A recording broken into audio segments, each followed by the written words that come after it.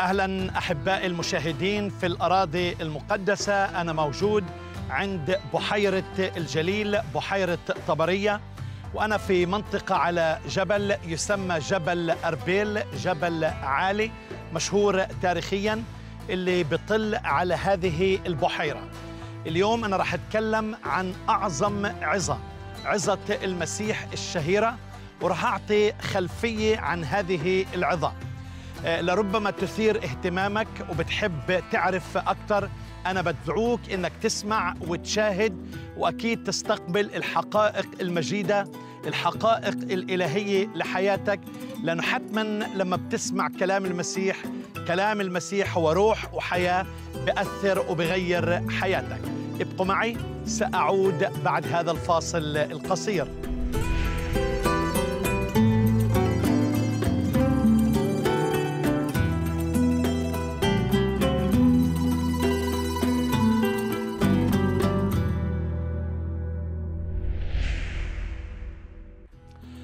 أحبائي هذه المنطقة تسمى جبل أربيل جبل عالي يطل على بحيرة طبرية.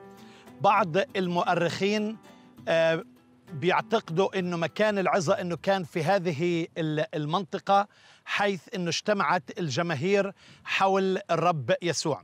لكن على الأرجح وكما نتعلم من التقليد المسيحي وحدث على جبل التطويبات إذا عندك عينين النسر فيك تشوف شمال البحيرة في جبل.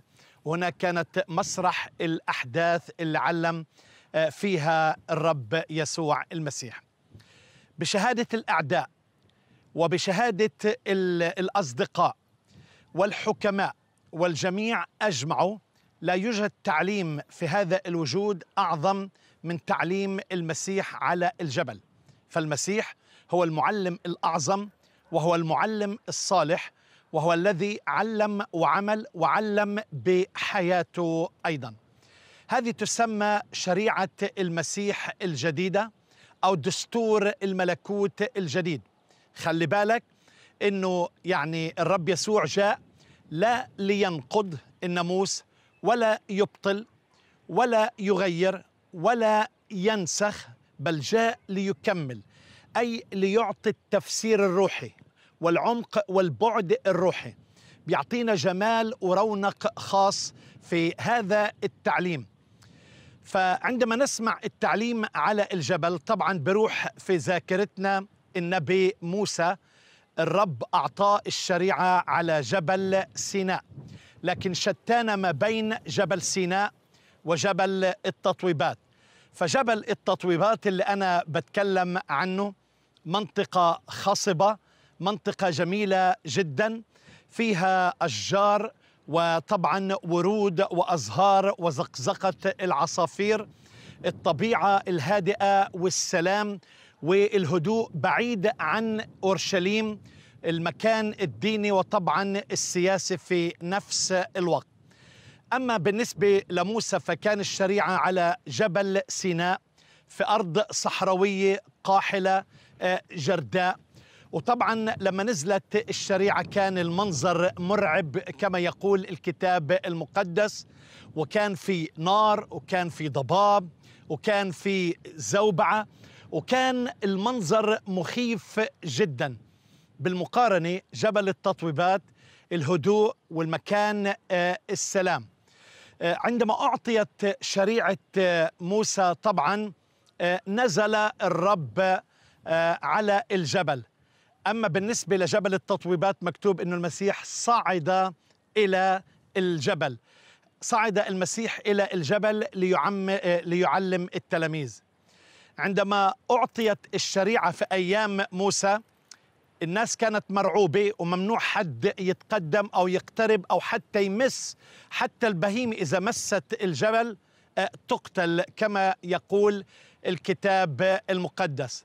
أما بالنسبة للتطويبات أو عظة المسيح على الجبل فالشعب اقترب من يسوع المسيح ليرى جمال الكمال وكمال الكمال ليسمع من الشفتين اللي كلها حلاوة ومشتهيات وطبعا تعليم المسيح المغير والمؤثر أيضا. مكتوب الناموس بموسى أعطي أما النعمة والحق فبيسوع المسيح صار. فجاء المسيح ليكمل لا لينقض فالعظة أحباء العظة على الجبل هي خلاصة بل زبدة تعاليم المسيح.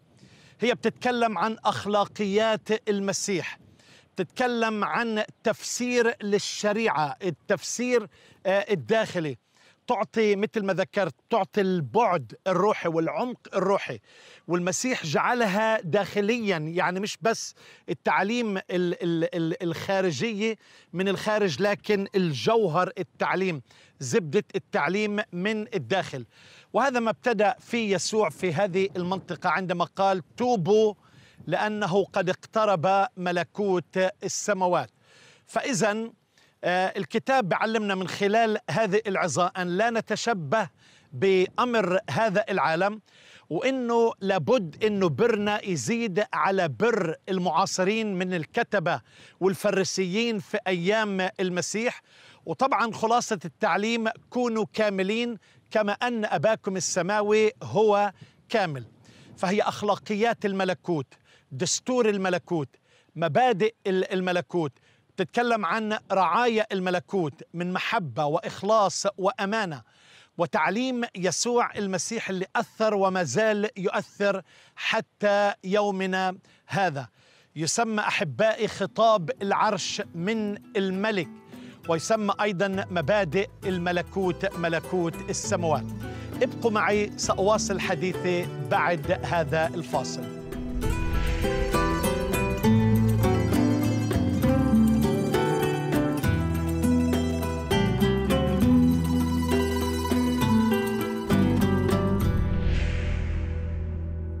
Well, the key to understanding the Sermon on the Mount, first of all, if we start with the Beatitudes, is to understand the Psalms. The language of the Beatitudes is the language of the Psalms and the prophets, like Isaiah. These are Jewish concepts, and these are Jewish promises, I mean, from the Hebrew Bible, from the Old Testament. So his audience does not have a New Testament. None of them have read any Gospels.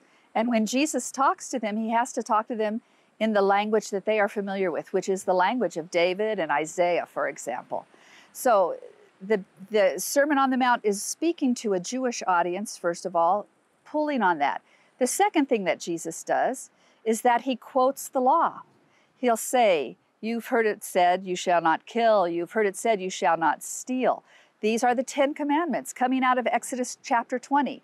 And the audience is familiar with all of those commandments. And now Jesus wants to take the commandments and interpret them in light of God's rule in our heart. And then he talks about how to practice your religion giving alms, praying, and fasting, all customs that are well known to the Jews of the first century. So he talks about what the real motivations should be for doing such religious acts of piety. And then finally, he talks about this interior relationship we have with the Father a perspective of trust in God with regard to all the manners of life, all the matters of life, and how do we relate with one another. So it's grounded in the Old Testament, it's grounded in the law of Moses, it's grounded in the prophets and in the Psalms, and it's the language of the people of, the, of Israel.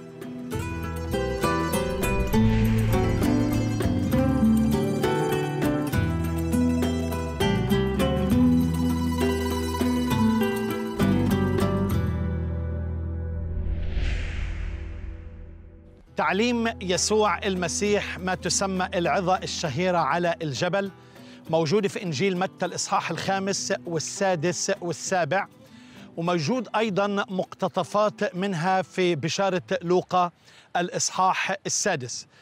طبعا في إنجيل متى كتبها البشير متى واحد من تلاميذ المسيح بوحي من الروح القدس ففي هذه المرحلة بجمع خلاصة تعليم يسوع المسيح الملك لرعايا الملكوت. وطبعا إصحاح 8 و9 بيتكلم عن عشر معجزات وهكذا بنظم آه، سفر أو إنجيل متى بحيث بركز على التعليم بركز على المعجزات بركز على الأمثال وهكذا إلى صلب وقيامة يسوع المسيح. مثل ما ذكرت أن هذه العظة تسمى خطاب العرش. من الملك الملك يسوع عم بيتكلم إلى الرعاية عم بيتكلم عن أخلاقيات عن دستور عن مبادئ. وطبعا أنا عاوز أوضح شيء أو اثنين مهمين. إنه كتير ناس فكروا إن الإنسان بيخلص إذا بيطبق العظة على الجبل. بالواقع العظة على الجبل آه، تظهر عجز وفشل الإنسان. بل بالعكس تقود الإنسان إلى احتياجه إلى مخلص. فمن يستطيع أن يحب الأعداء ومن منا لا يغضب أو يكره أو يشتهي وكل هذه الخطايا اللي بيتكلم عليها بالنية بالقلب بالدوافع الداخلية. فالمسيح بنوره الكاشف العجيب استطاع أن يظهر ويخرج خبايا القلب إلى الظاهر حتى الإنسان يشوف طبعا وضعيته ويشوف ظرفه. والغرض من هذا الموضوع أنه يتوب عن الخطايا ويرجع للرب يسوع المسيح. فعلا هذا التعليم هو للأشخاص المفديين اللي اختبروا خلاص المسيح. وإلا استحالة إنه الإنسان يطبق شريعة المسيح ولا سيما العزة على الجبل بحذافيرها. ولكن لو طبقت مثل الكمال ومثل القاعدة الذهبية ومثل المحبة الكاملة وطلب ملكوت الله فتخيل ما نوع العالم ماذا سيكون العالم؟ لو طبعا تركنا البغضة اللي كان يعني لو تركنا البغضة لقضت على كل شرور العالم. فالمسيح مش بيتكلم عن مظاهر التدين الخارجي ولا بيتكلم على التقوى الظاهرية لكن بيتكلم عن جوهر الإنسان. من القلب تخرج الأفكار الشريرة.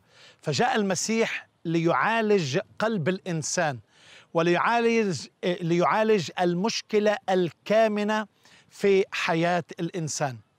عندما اجتمع المسيح مع التلاميذ والجمهور الذي تبعه من كل مكان لأنه في الإصحاح الرابع مكتوب كان يطوف كل قرى الجليل يعلم في مجامعهم ويكرز ببشارة الملكوت وكان يشفي كل ضعف وكل مرض في الشعب.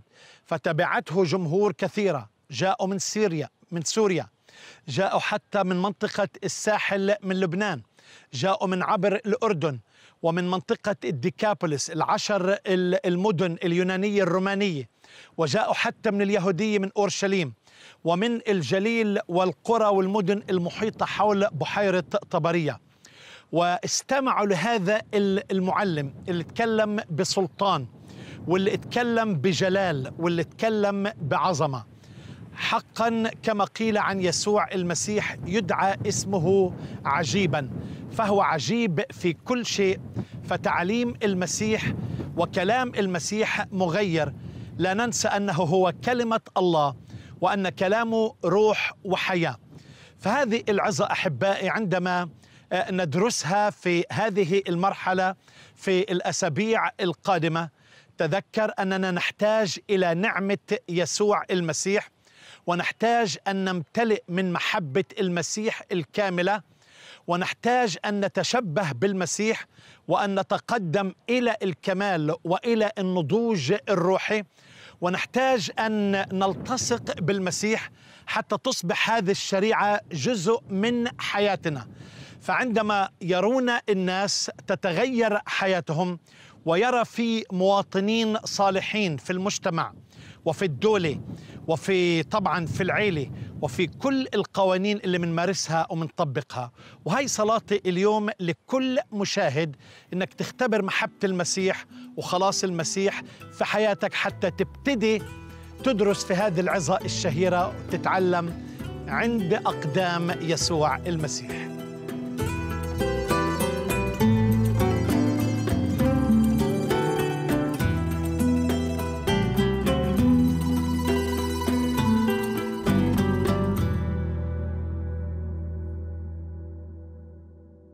احبائي المشاهدين أنا بدعوك إنك تقرأ تعليم يسوع المسيح في هذه العظة الشهيرة. يمكن تاخدك عشر دقائق لربع ساعة تقرأ إنجيل متى إصحاح خمسة وستة وسبعة. لكن بأكد لك رح تنبهر من تعليم المسيح وتندهش. لكن هذا لا يكفي. فتخيل المسيح اللي يطوب الفقراء والمساكين اللي بيتكلم بكل وضوح قاطع أنه جاء لا لينقض بل ليكمل. وتكلم بسلطان سمعتم أنه قيل للقدماء اما أنا فأقول لكم. بيتكلم عن تأثير المؤمن وشهادة المؤمن أننا ملح ونور لهذا العالم. وبيستمر بحديثه في هذه العظة حتى يعلمنا حقائق مجيدة من خلال طبعا شخصه المبارك. فنحن نحتاج إلى نعمة خاصة ونحتاج إلى معونة إلهية حتى نبتدي نطبق هذه التعاليم تعاليم المسيح على حياتنا. لكن الخطوة الأولى نحتاج إلى الخلاص إنه نعترف ونتوب عن خطايانا نتوج المسيح ملكا وربا على حياتنا ونطلب الخلاص ونأتي إلى معرفته وإلى خلاصه ونطلب معونته إنه يساعدنا والرب يأتي إلى حياتك. الرب يباركك وبحب أسمع منك.